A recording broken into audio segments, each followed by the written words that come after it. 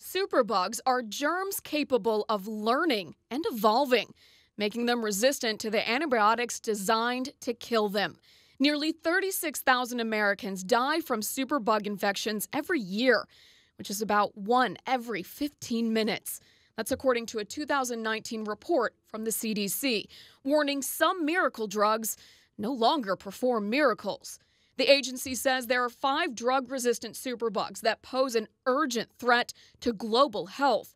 Genetic researchers found some germs can share their DNA with other germs, effectively teaching them how to outwit complex antibiotics.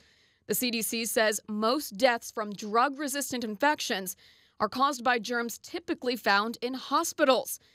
But the report notes while superbug infections from hospitals are down from the 2013 study, infections caught anywhere else in the community are on the rise.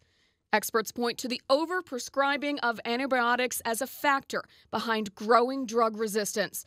And they say the only way to prevent the rise of antibiotic resistant infections is if doctors, patients, and policymakers work together. For today's Health Minute, I'm Britt Conway.